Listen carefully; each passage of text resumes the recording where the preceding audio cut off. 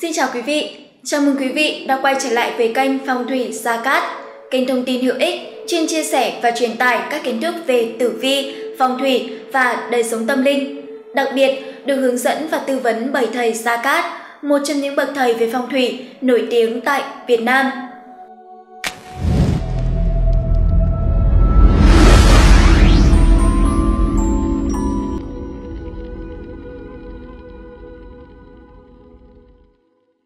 Quý vị thân mến, có những người khi sống cảnh độc thân thì vận khí không được tốt, hiếm khi được may mắn, cũng không có nhiều thành công.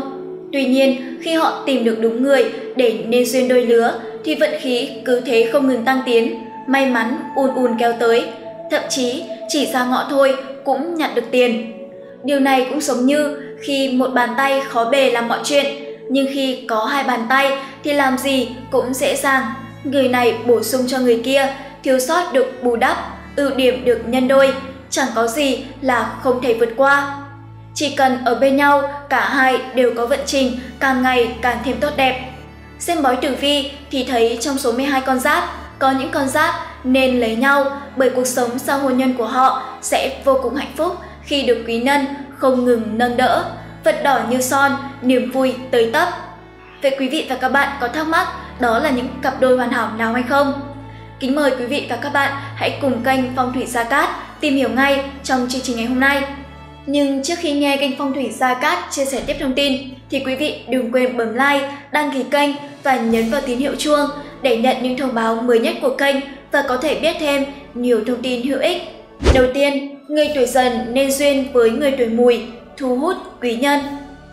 Hai con giáp này nếu đến với nhau sẽ tạo nên một cặp đôi hoàn hảo, vận khí giữa hai người có mối liên hệ đặc biệt không thể tách rời. Khi đã thành một thể thống nhất hoàn chỉnh thì vận may của họ tăng tiến không ngừng nhờ được bổ trợ cho nhau. Sức hút của họ thể hiện ở việc họ luôn may mắn được quý nhân giúp đỡ mà quý nhân dường như tự tìm đến. Với bản thân hai người đã có vận khí mạnh hơn khi kết duyên cùng với nhau, nay lại được quý nhân trợ lực nên vận trình càng thêm vượng phát, niềm vui tới tấp, thành công dồn dập Quả là một cặp đôi trời sinh. Đây là những con giáp nên lấy nhau, nếu không sẽ lỡ mất biết bao nhiêu vận may của cuộc đời. 2. Người tuổi tuất nên duyên với người tuổi hợi, quý nhân bằng lòng giúp đỡ. Nếu bạn và người yêu vừa hay cầm tinh con tuất và con hợi thì còn chần chờ gì nữa mà không cùng nhau gây dựng hạnh phúc trăm năm bởi hai bạn chính là những cặp đôi con giáp hợp tuổi nhau trong tình yêu, hôn nhân khi ở bên nhau, hai bạn có một sự hài hòa khó tả, tạo nên không khí vô cùng hòa hợp, có thể giúp cho vận trình của cả hai được tăng trưởng vượt bậc. Sẽ có rất nhiều người tự nguyện giúp đỡ, sẵn lòng tương trợ hai bạn mỗi khi có khó khăn, giúp các bạn nhìn thấy được tia sáng cuối đường hầm, cũng mở ra nhiều cơ hội phát triển trong tương lai. Chỉ cần người tuổi tuất và người tuổi hợi ở bên nhau, sự tâm đầu ý hợp giữa họ cũng là một thỏi nam châm thu hút quý nhân đến gần. 3. Người tuổi dậu nên duyên với người tuổi tý, vận quý nhân, hưng vượng. Trước khi kết đôi với nhau, người tuổi dậu và người tuổi tý có vận khí không mấy may mắn. Vận trình không có nhiều nổi bật, thậm chí còn khá bất ổn. Song khi nên duyên đôi lứa thì mọi chuyện hoàn toàn đổi khác, vận trình thăng cấp vượt bậc khiến ai ai cũng phải bất ngờ. Chẳng phải tự nhiên mà người ta nói hai người này là những con giáp nên lấy nhau để khỏi bỏ lỡ cơ duyên trời định dường như ngọn lửa tiềm tàng phía trong họ chỉ khi gặp được nhau mới kích hoạt, giúp cho ngọn lửa đó bùng cháy mãnh liệt, giúp cho bản mệnh thành công không ngừng, vận đỏ như son, may mắn liên tiếp kéo tới. Đồng thời, người tuổi dậu và người tuổi tý ở bên nhau sẽ dẫn tới quý nhân vận, chẳng cần phải lo lắng mỗi khi gặp khó khăn, trở ngại. Vận quý nhân của hai người càng ngày càng thêm hưng vượng. Trong cuộc sống có rất nhiều người sẵn lòng đưa tay nâng đỡ họ, giúp họ có thêm nhiều cơ hội để phát huy khả năng của bản thân và giành được những mục tiêu to lớn. Quý vị thân mến, bên cạnh những cặp con giáp được quý nhân phù trợ khi ở bên nhau thì có những cặp con giáp thậm chí còn chẳng cần ai giúp đỡ, chỉ cần ở bên nhau là đã có mọi thứ mong muốn. Bởi đây là những con giáp được sinh ra là dành cho nhau.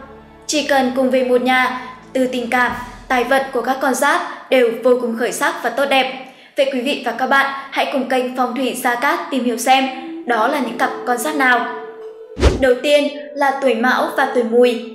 Mão và Mùi là hai cặp đôi con giáp được tử vi dự đoán.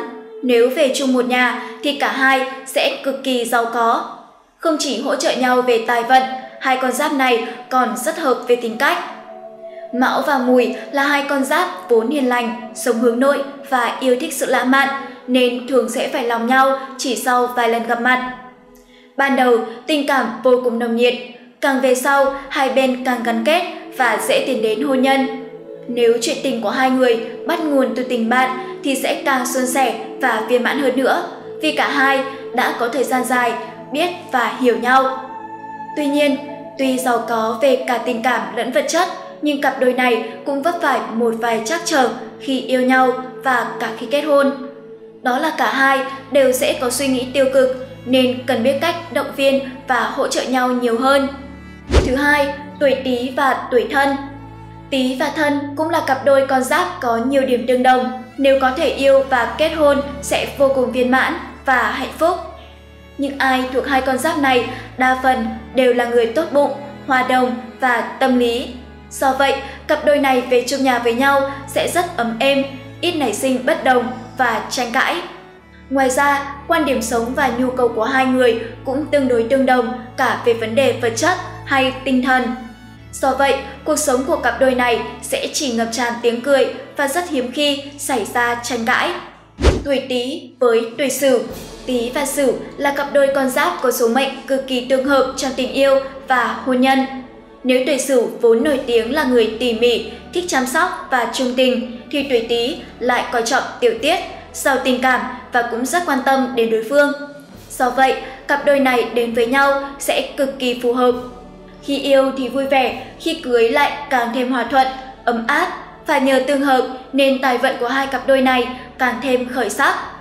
Hãy lưu ý, người tuổi Sửu nên hạn chế tính bảo thủ, cứng nhắc, còn tuổi Tý nên gia tăng sự lãng mạn trong mối quan hệ thì tình cảm của cả hai sẽ ngày càng phát triển theo chiều hướng tích cực.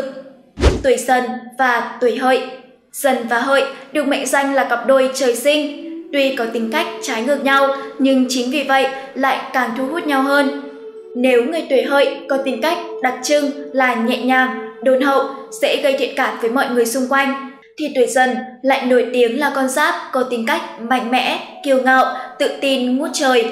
Trong tình cảm, tuổi dần là người nồng nhiệt và có tính sở hữu cao đối với nửa kia. Chính vì sự khác biệt này mà hai bên sẽ rơi vào tiếng xét ái tình, vừa gặp đã cảm mến nhau. Nếu yêu nhau, cặp đôi này sẽ mang lại cho đối phương nhiều điều bất ngờ, giúp mối quan hệ ít khi bị nhàm chán. Ngoài những dấu hiệu tốt về tình cảm thì tài vận của cặp đôi này cũng sẽ khởi sắc khi cả hai quyết định về chung một nhà. Dần và hợi cưới nhau chẳng những tình cảm ngày càng gắn bó mà chẳng mấy chốc gia đình trở nên giàu có và sung túc. Tuổi hợi và tuổi tuất Không chỉ hợp với người tuổi dần, tuổi hợi và tuất mà yêu và cưới nhau cũng hợp đủ đường. Từ tình cảm cho đến tiền tài, nếu người tuổi hợi lấy sự hiền lành, chan hòa làm ưu điểm thì người tuổi tuất cũng chẳng hề kém cạnh. Người tuổi tuất khá cứng đầu, bảo thủ nhưng bù lại, yêu thích sự ổn định. Đã yêu là không bao giờ buông tay. Hai người này kết hợp với nhau sẽ tạo nên một cặp đôi xứng đôi vừa lứa, tương hợp với nhau nhiều điểm tính cách giúp tình cảm luôn ấm êm, hạnh phúc. Tuổi Tý và tuổi Dậu Trong 12 con giáp, tuổi Dậu chính là đối tượng phù hợp với tuổi Tý. Tuổi Dậu là người khá khó tính, tỉ mỉ và chú ý đến từng chi tiết nhỏ, còn tuổi Tý có bề ngoài khá lạnh lùng, nhiều bí hiểm, tư chất thông minh và không dễ dàng phải lòng người khác. Tuy vậy, một khi đã quyết chí yêu ai, tuổi Tý sẽ hết sức trung tình, lại khác hẳn với vẻ bề ngoài lạnh lùng mà cực kỳ ấm áp và quan tâm tới đối phương. Cặp đôi này gặp và yêu nhau sẽ tạo nên một tình yêu đẹp, ngọt ngào và hạnh phúc, khiến ai ai cũng phải ngưỡng mộ. Thời gian đầu của hôn nhân, tài chính của cặp đôi này chưa có dấu hiệu khởi sắc, nhưng trải qua 3 đến 5 năm, cuộc sống của cả hai sẽ trở nên vô cùng sung túc và viên mãn. Tuổi thìn và tuổi dậu Ngoài tỵ, thìn cũng là con giáp phù hợp với tuổi dậu. Là một người với kỹ năng đòi hỏi cao ở đối phương như tuổi dậu thì người có tính cách khẳng khái, có ý chí làm ăn, tín thủ như tuổi thìn lại vô cùng phù hợp. Cả hai sẽ trở thành một cặp đôi ưng ý, không chỉ hấp dẫn nhau về mặt tình cảm mà còn hỗ trợ nhau hiệu quả trong cuộc sống. Nhờ vậy, đời sống tình cảm luôn viên mãn, hạnh phúc mà vật chất cũng vô cùng sung túc, giàu có hơn người. Tuổi ngọ và tuổi mùi cũng như cặp đôi dần và hợi, ngọ và mùi cũng là cặp đôi có tính cách trái ngược, nhưng nhờ vậy lại trở thành những mảnh ghép hoàn hảo cho nhau. Trong khi tuổi ngọ lúc nào cũng vui vẻ, hoạt bát, thích tự do, đôi khi vô tâm vô tính thì người tuổi mùi lại dịu dàng, hướng nội và luôn quan tâm, chăm sóc người khác. Chính sự đặc biệt đó đã bổ trợ cho nhau hoàn hảo, giúp tình yêu của người tuổi ngọ và tuổi mùi thêm khăng khít, gắn bó.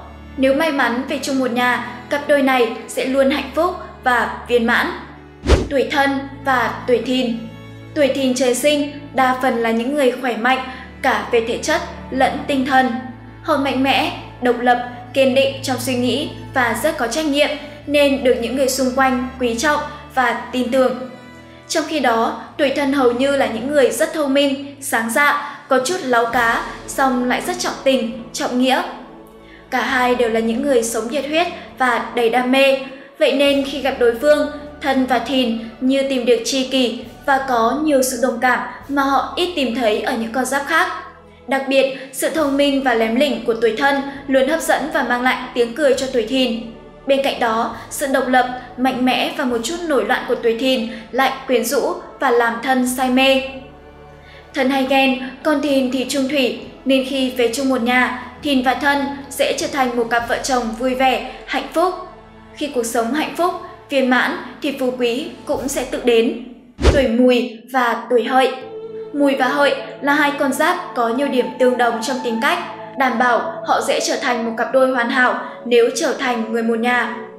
Họ cùng có trái tim ấm áp, dịu dàng, bản tính lương thiện, biết nhường nhịn hay chiều lòng và giúp đỡ người khác. Đây cũng chính là đặc điểm khiến họ thấy đối phương hấp dẫn và đáng trân trọng.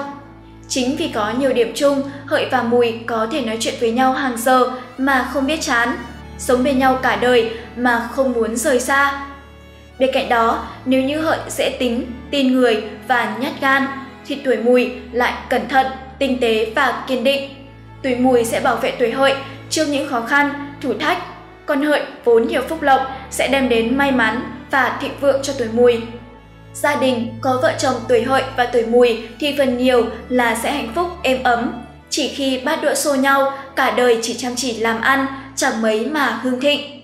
Rất cảm ơn quý vị đã luôn quan tâm và theo dõi chương trình. Quý vị đừng quên like, đăng ký và nhấn vào tín hiệu chuông để nhận được những thông báo mới nhất của kênh và không bỏ lỡ bất kỳ video và thông tin nào từ chúng tôi. Xin chào và hẹn gặp lại quý vị trong những chương trình tiếp theo.